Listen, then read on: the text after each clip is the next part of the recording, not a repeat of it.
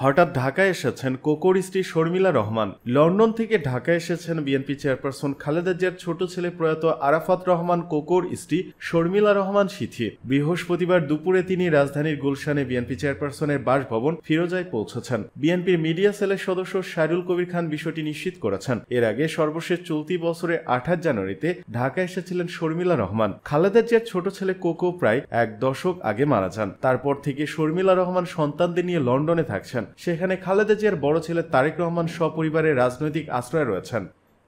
পিলখানা হত্যাকাণ্ডের master mind ছিলেন শেখ হাসিনা। সাবেক প্রধানমন্ত্রী শেখ হাসিনা পিলখানা হত্যাকাণ্ডের মাস্টার মাইন্ড ছিলেন বলে মন্তব্য করেছেন সাবেক সেনা কর্মকর্তারা। তারা অভিযোগ করে বলেন, এ ঘটনার সাথে জড়িত ছিলেন সাবেক প্রধানমন্ত্রী নিরাপত্তা বিষয়ক উপদেষ্টা, মেজর জেনারেল অবসরপ্রাপ্ত তারিক আহমেদ সিদ্দিক। এছাড়া এ ঘটনায় সহযোগিতা করেছেন আওয়ামী লীগের বেশ কিছু নেতা। বৃহস্পতিবার পাঁচ সেপ্টেম্বর জাতীয় প্রেস ক্লাবে এক সংবাদ সম্মেলনে এসব কথা বলেন সাবেক সেনা কর্মকর্তারা। অনুষ্ঠানে সাবেক সেনা কর্মকর্তা মেজর জেনারেল অবসরপ্রাপ্ত আব্দুল মতিন বলেন, শুধু অপারেশন ডাল ভাতের জন্য বা রেশন বৃদ্ধির জন্য পিলখানা হত্যাকাণ্ড ঘটেনি। দীর্ঘদিনের পরিকল্পনা হিসেবে এই হত্যাকাণ্ড ঘটনা হয়েছে। বাংলাদেশকে ভারতের অঙ্গরাজ্য বানানোর উদ্দেশ্যই এই হত্যাকাণ্ড। এই পরিকল্পনা যুক্ত ছিলেন দেশের কিছু বিশ্বাসঘাতক। ছিল অপর একটি দেশের চক্রান্ত। তিনি বলেন, এই হত্যাযোগের রেশ ধরেই এসেছে। পাঁচ মে শাপলা চত্বরে গণহত্যা, ভোটারবিহীন নির্বাচন শিক্ষা ব্যবস্থা বিচার ব্যবস্থা ধ্বংস, দুর্নীতির মহা উৎসব, গুম, খুনের অবাধ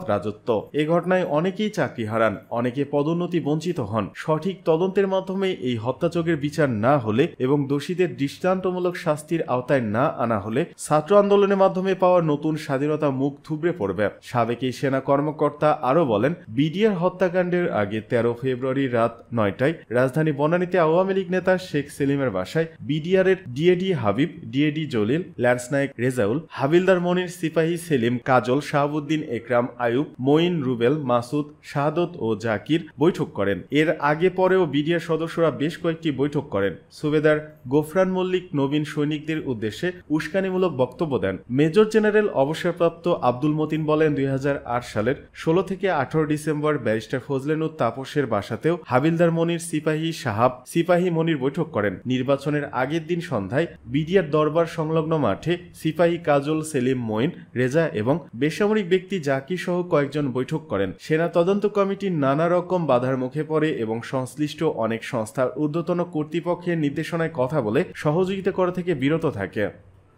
আওয়ামী শাসনামল ভূমিহীন শাহরিয়ার আলম কয়েক হাজার কোটি টাকার মালিক। শাহরিয়ার আলম আওয়ামী লীগে যোগ দিয়ে দুই হাজার আট সালে রাজশাহী ছয় আসন থেকে প্রথমবার সংসদ সদস্য নির্বাচিত হন। দুই হাজার চোদ্দ সালে পররাষ্ট্র প্রতিমন্ত্রী হিসেবে মন্ত্রিসভায় স্থান করে নেন তিনি। দুই সালেও একই পোর্টফোলিও ধরে রাখতে সক্ষম হন। গত সাত জানুয়ারি নির্বাচনে চতুর্থবারের মতো সংসদ সদস্য নির্বাচিত হন তিনি। আওয়ামী শাসনামলে এই নেতার সম্পদের পাহাড় গড়ার একটি চিত্র উঠে এসেছে দৈনিক সমকালের একটি প্রতিবেদনে। প্রতিবেদনটিতে তুলে ধরা হয়েছে রাজশাহীতে north Bengal agro farms limited নামে একটি কৃষি খামারের মালিক শাহরিয়ার আলম। এছাড়া দুই হাজার বিশ সালে রাজশাহীর গোদাগাড়ি উপজেলার গোগ্রাম ইউনিয়নের বসন্তপুর মোড়ের পাশে একই প্লটে চল্লিশ বিঘা জমি কিনেছেন। জমির মালিক ছিলেন বাঘা উপজেলার বাঘা পেট্রোল পাম্পের মালিক গোলাম মোস্তফা। তার অভিযোগ, জমির মূল্য পরিশোধ না করে শাহরিয়ার আলম প্রতারণার মাধ্যমে দখল নিয়েছেন। প্রতিবেদনে আরও জানা যায়, শুধু এটি নয়, আওয়ামী লীগ সরকারের এমপি ও প্রতিমন্ত্রী হয়েই সম্পদের টৈটুম্বুর হয়ে ওঠেন শাহরিয়ার আলম। নিজের জমাদা হিসাব অনুযায়ী তিনি ছিলেন ভূমিহীন, অর্থাৎ তার কোনো স্থাবর সম্পদ ছিল না। কিন্তু পনেরো বছরে তিনি কয়েক হাজার কোটি টাকার মালিক হয়েছেন। রাশিয়া, ব্রাজিল, চীনে খুলেছেন নিজস্ব ব্যবসা প্রতিষ্ঠান, গড়েছেন আটটি পোশাক কারখানা, নিয়েছেন নিজের রেনেসা গ্রুপের নামে দুরন্ত টেলিভিশন, রাজশাহীতে করেছেন বেসরকারি মেডিকেল কলেজ। পাশাপাশি ঢাকার গুলশানে নিজের নামে দুইটি পুত্রের নামে একটি এবং দ্বিতীয় স্ত্রী নামে কিনেছেন তিন হাজার ছয়শো বর্গফুটের রাজকীয় ফ্ল্যাট। নিজের নামে কৃষি ও অকৃষি জমি দেখিয়েছেন একান্ন বিঘা। অথচ দুই হাজার আট সালে নির্বাচনের আগে জমা দেওয়া হলফনামার তথ্য মতে, তখন শাহরিয়ার আলমের স্থাবর কোনো সম্পদ ছিল না। তার বাবা মোহাম্মদ শাহাবুদ্দিন ছিলেন রেলের কর্মচারী। North Bengal agro farms limited ছাড়াও শাহরিয়ার আলম খামার বাড়ি করেছেন ঠাকুরগাঁও সদর উপজেলার চৌধুরীহাট এলাকায়। এমপি হওয়ার পর দুই সালে পঁচিশ বিঘা জমি কেনেন সেখানে।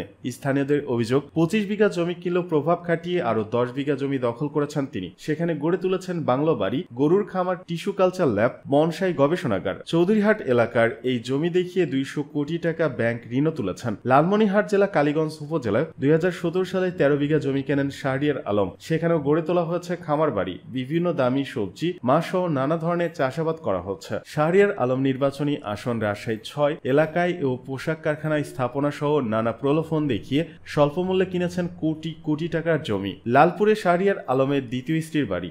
সেখানকার স্থানীয় এক আওয়ামী লীগ নেতার কন্যা সিলভিয়া পারভিন লেনিকে দ্বিতীয় বিয়ে করে প্রথম স্ত্রী আয়েশা আক্তার ডালিয়াকে তালাক দেন তিনি। এরপর দ্বিতীয় স্ত্রী লেনির মা রোকসানা মর্তুজা লিলিকে দুই হাজার এগারো সালে শাহরিয়ার আলম প্রভাব খাটিয়ে মেয়র বানান। স্ত্রীকে সেখানে রাজপ্রাসাদের মতো বাড়ি করে দিয়েছেন। ঢাকার গুলশানে শেখ রেহনার বাড়ির সামনে তিন হাজার ছয়শো স্কোয়ার ফুটের রাজকীয় ফ্ল্যাট উপহার দিয়েছেন। এলাকাবাসী অভিযোগ করেন, দুই হাজার আট সালে এমপি হওয়ার পর এসব জমি ও অর্থ সম্পদ গড়ে তোলার নেশায় শাহরিয়ার আলম তার নির্বাচনী এলাকায় ব্যাপক লুটপাট চালিয়েছেন। তিনি তার এপিএস সিরাজুল ইসলামের মাধ্যমে এককভাবে নিয়ন্ত্রণ করতেন টিআর কাবিখা সহ সরকারি সব অনুদান ও প্রকল্প, এমনকি স্কুল, কলেজ, মাদ্রাসা শিক্ষক নিয়োগেও করেন বাণিজ্য। চাকরি বাতিল সহ বিভিন্ন কাজেও এপিএস এর মাধ্যমে নেন মোটা অঙ্কের টাকা। প্রতিমন্ত্রীর তহবিলে টাকা না দিলে কারও টিয়ার কাবিখা বা সরকারি অনুদান পাওয়ার সুযোগ ছিল না। আবার টাকা দিলে ভুয়া প্রতিষ্ঠানের নামেও মিলেছে সরকারি বরাদ্দ।